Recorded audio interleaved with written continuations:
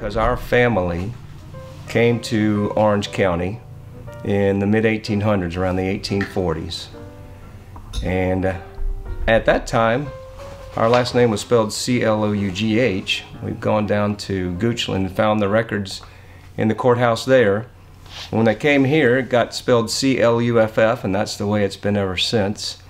And we like to joke we were running from the law, so that was the reason for the name change. But no, we've um, my children who live with me here in the town of Orange are sixth generation in the county just from the Cluff name.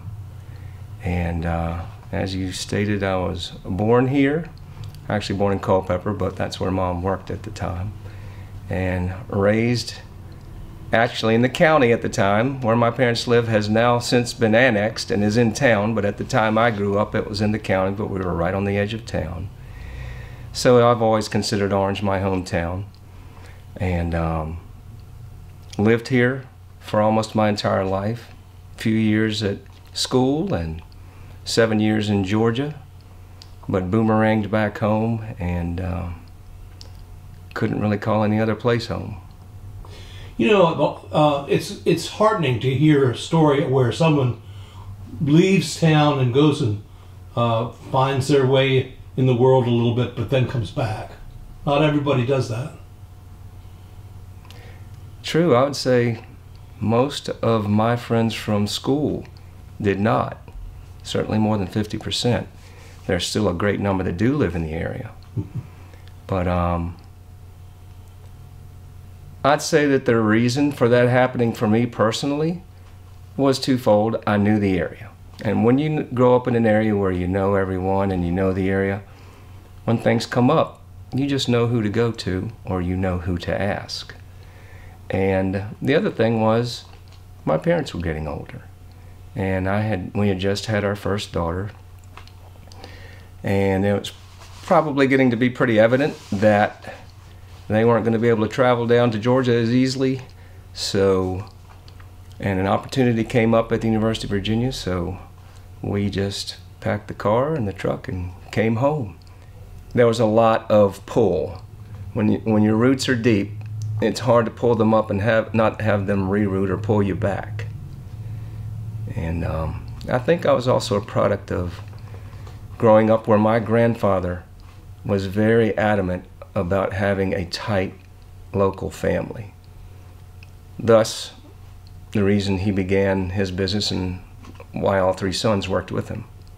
C. Cosby Cluff Incorporated started in 1927 by my grandfather, C. Cosby Cluff, and started out as a heating business and then later expanded as the boys came along into and the technology caught up into air conditioning, roofing, and plumbing. Mm -hmm and uh, stayed in business until 2001 for 75 years. Well, what did you do at the University of Virginia?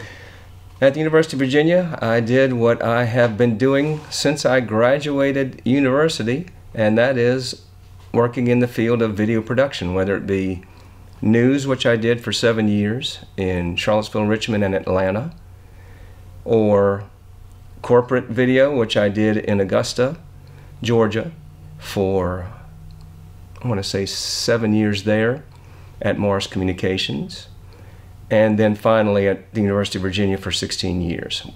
I worked in video production there. We did uh, everything you can imagine. From when I first started, I was producing the 30 minute Cavalier Sports Weekly program, which aired on local cable and on television. And then as the department's responsibilities grew and changed, moved into student features, live event production. Of course, that's been the main focus here recently with the advent and launch of the ACC network on ESPN. And so there's been a lot of live event production, and features were my most, the things I did most frequently in the last few years. I also have to mention that for seven or eight years of that time, right in the middle, I was a specific sport producer. So I produced the live production for the in venue boards, the video boards in the venues, and did that for both men's soccer and baseball.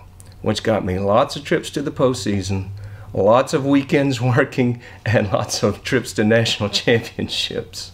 Wow. But they were fun and, and interesting experiences, and uh, certainly wouldn't trade them. And I heard you won a big award for this. Well, I was nominated for an Emmy for a piece I did and submitted back in my first several years. It was a piece about a men's soccer player who suffered a grievous injury on the field, an almost 90 degree hyper extension of his knee.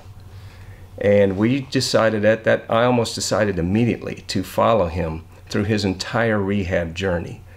Since we had such quote unquote good footage of the accident, of the incident, and then went through him with his surgery, through his rehab, and then ultimately to almost to the day a year later coming back onto the field to play again. So that was a very big honor to be nominated for an Emmy. Let's go back to your childhood here in, in, in the town of Orange. And uh, uh, can you uh, remember some funny stories or fond memories? Uh, maybe some not so fond memories from that time? I can remember quite a few. it's just a matter of filtering which ones I should tell. Certainly, in the time I grew up, which the prime of my childhood would have been the late 60s through the early 80s. Mm-hmm. And, you know, in that time, Orange was very bustling. I don't remember many, if any, storefronts that didn't have something in them.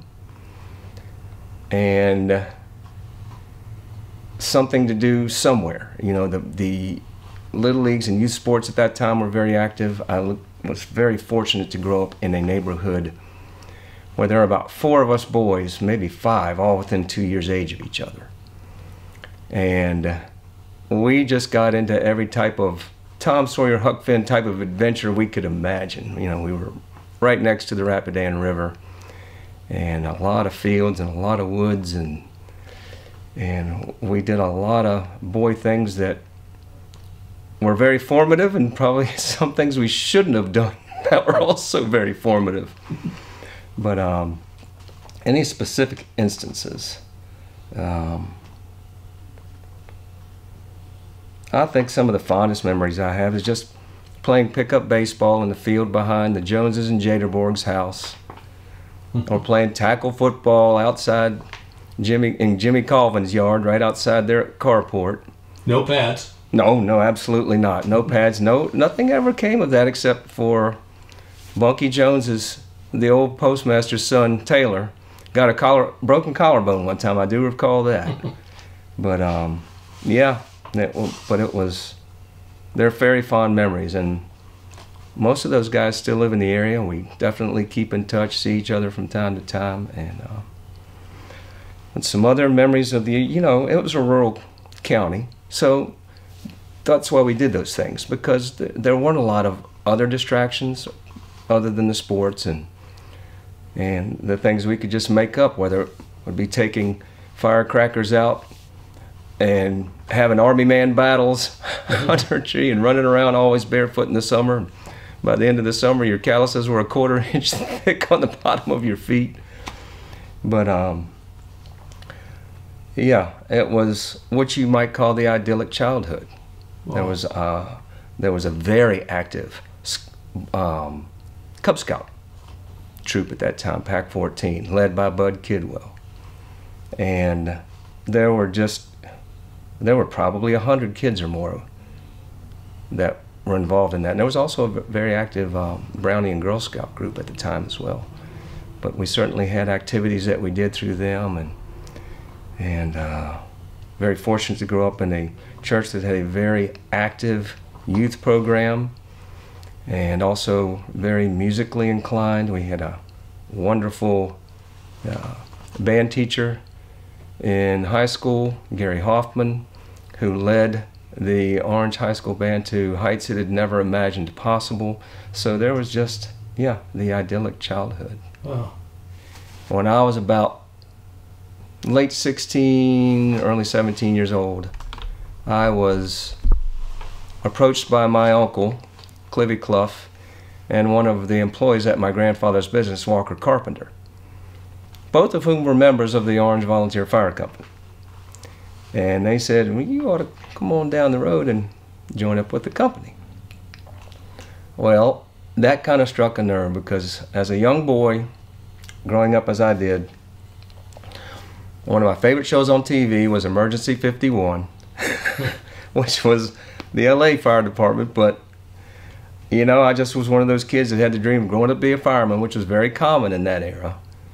But all of a sudden, the opportunity to fulfill that was laid out in front of me. And of course, Walker had been chief for many years. Clivey was one of, had been a line officer and then became a uh, business officer for, for a number of decades. So I looked into it. They had a junior company at the time. It was quite active, and I thought, sure, why not give it a try? And this is when the uh, fire station was up on Main Street when the fire whistle blew every time there was a call, interrupted every church service on Sunday morning, or court. any concert, any court, and, and uh, yeah, but it was has been almost a mirror image of seeing the changes in Orange from my childhood to now, to seeing the changes within the fire company from then, from that time, my teen years until now it's kind of an interesting parallel. But it, uh, it has been just a wonderful organization. It is certainly, I'm biased in this opinion, but I feel it's absolutely one of the best full volunteer stations in the state and provides an extremely high level of quality emergency services to the citizens both in town and in our first due area. And uh, we just maintain a high level of training. We have first rate equipment. And uh, it's certainly one of the things I'm most proud of, not just individually, but as a group, is being part of that team. Today's Orange, how do you see it? And and how do, is it different from it was when you were a, a child? In many ways, it is still the same, but in many ways, it has changed. I, you know, I don't want to shape this in a negative light, but it almost seems as though Orange struggles with being something for the present while holding on to its past. Not a bad struggle. That's just my interpretation of it. This is a very historical area, as we all know, that, that grew up here. Um, we get all that by osmosis, not only being taught it, but how does Orange maintain that historical character and structure yet still move into the 21st century? And the town itself, if that's what we're speaking about, has as many people, if not more, than it did then. But I think it's more of a, a bedroom community now than it was then. There's certainly more people working outside of town than work in town. I'm one of the fortunate right now. I actually get to work in town. I own a business here that my grandfather started and and am able to operate that. But um, I think Orange will definitely move ahead and progress. It certainly is. We see it in the eastern end of Orange County. Uh, there's really nothing you can do to stop that. But I think, and I hope, and it seems to me that we're trying to move forward in the way that's best able to preserve that historical aspect, yet embrace the future and whatever it may hold. Do you have a vision for the next 50 years, 100 years? A vision. hmm. Just my personal vision, what I would like to see. I think I'd like to see exactly what I just said, and that is I'd like to see Orange is known for its rural nature, and I think that's one of its great selling points, and certainly something that I value as I look back at my childhood and, growing up. And I'd hate to see it lose that character entirely, but at the same time, I like seeing the growth and kind of a return a little bit to that bustling nature that Orange had in the 60s and 70s. Um, 50 years down the road, I think it's going to look very different. But at the same time, I think there's going to be things that we'll very easily recognize for those of us that grew up in the mid to late 20th century. I think we'll be able to recognize a few more of them in the western end of the county as opposed to the eastern end. But in town, I mean, I, I, certainly would expect the courthouse to still be there as a one of the historical anchors. And I, I think we're realizing what our historical portions of the town are that are worth preserving to tell the story of Orange up through that point. Uh, wow, 100 years down the road, who can even tell? Look at the advancements that were made just in the 20th century, and only uh, almost a quarter of the way into the next, how far we've gone. Mm. So, I mean, the sky's the limit.